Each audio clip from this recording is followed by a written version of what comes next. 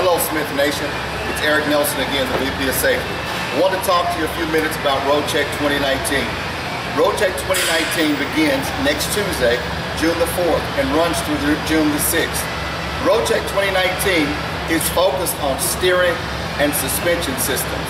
However, there's nothing off limits.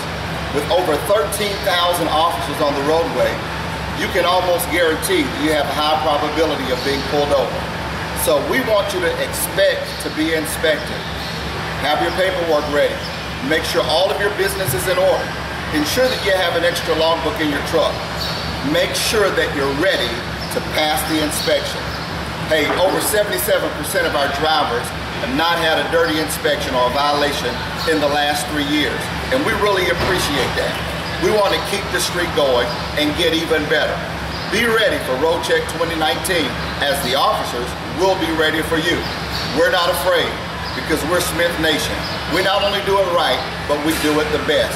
Thanks for all you do. I appreciate it. Keep up the great work. Be ready and expect to be inspected during Road Check 2019. Take care.